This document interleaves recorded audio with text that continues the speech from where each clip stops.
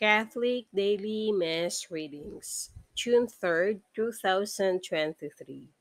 St. Charles Lwanga and Companions Martyrs. A reading from the Book of Sirach. I thank the Lord and I praise him. I bless the name of the Lord. When I was young and innocent, I sought wisdom openly in my prayer.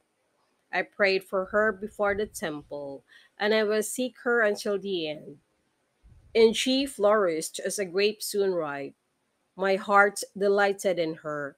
My feet kept to the level path, because from earliest youth I was familiar with her. In the short time I paid heed, I met with great instruction.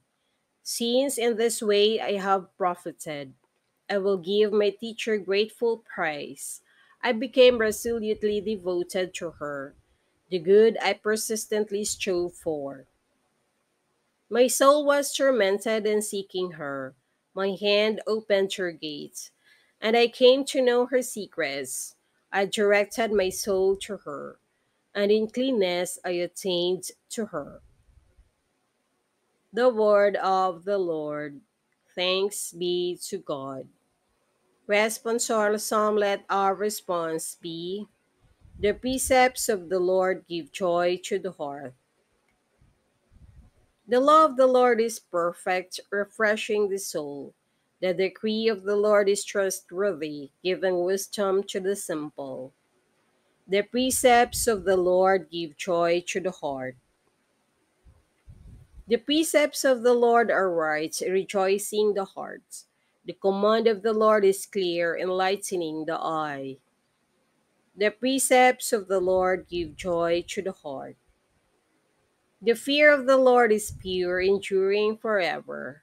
The ordinances of the Lord are true, all of them just. The precepts of the Lord give joy to the heart.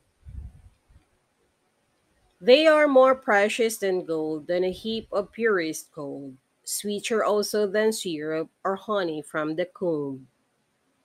The precepts of the Lord give joy to the heart.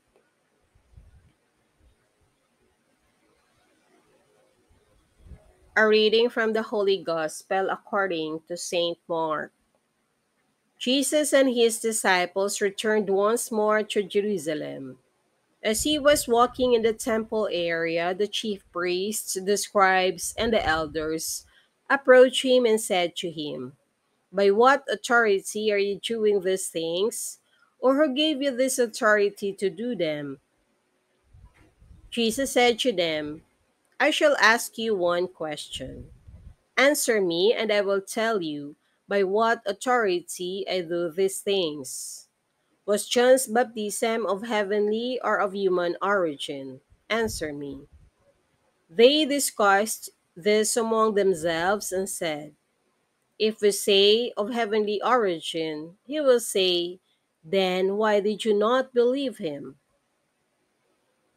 But shall we say of human origin? They feared the crowd, for they all thought John really was a prophet. So they said to Jesus in reply, We do not know. Then Jesus said to them, Neither shall I tell you by what authority I do these things. The Gospel of the Lord. Praise to you, Lord Jesus Christ.